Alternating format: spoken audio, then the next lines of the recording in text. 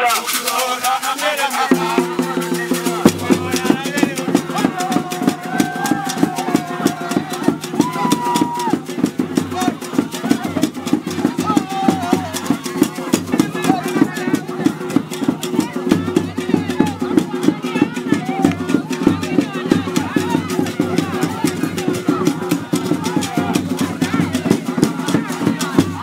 E bwana, kutoka moja bet moja kwa moja kama unavyoniona tuko bara, eh, tuko Mbagara sabasaba mtaa wa Kizinga, na moja kwa moja kabisa kutoka moja bet mtu akapiga kizinga cha milioni kumi.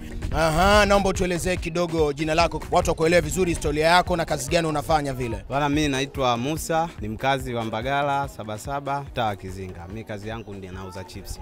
E bwana, umemuuliza chipsi. Yeah. Sawa, moja beti mara ya kwanza unaisikia ilikuwa wapi? Moja beti mara ya kwanza nilisikia kwenye redio, lakini nikawa sijanakili namba zake. Ndio. Kwa hiyo kuna mzee alinipitishia vipeperushi. Kwa hiyo baada ya kuchukua vile vipeperushi ndio nikawa nacheza moja beti. Ah, ni muda gani umecheza mpaka umekuja kutusua hichi kizinga kama jina la mtaa wako? Kwa kweli ni muda wa wiki kama moja tu. Wiki moja umecheza na umetusua milioni kumi. Ya, vigeregere kwake tafadhali. Na umecheza kiasi gani? Ah, kwa kweli hela niliocheza sio nyingi sana, haifiki hata elfu hamsini Haifiki? hata elfu hamsini. Watu wanaona kama masiala, lakini mi ninachowashauri wacheze moja beti kwa wingi, yani wacheze sana, wasikate tamaa, kwa sababu unajua unaweza ukakaa katika maisha yako ka- kama mimi binafsi sijatarajia, kwa sababu mi ni muungaji ungaji, yani mi naungaunga, kwa hiyo sijatarajia kuishika milioni kumi ya pamoja, umeona. Kwa hiyo na wasi wacheze moja betting, wasikate tamaa, hata kama wakiliwa leo kwangu, kesho kwa mwingine. Eh bana, tena vigeregere na makofi kwake.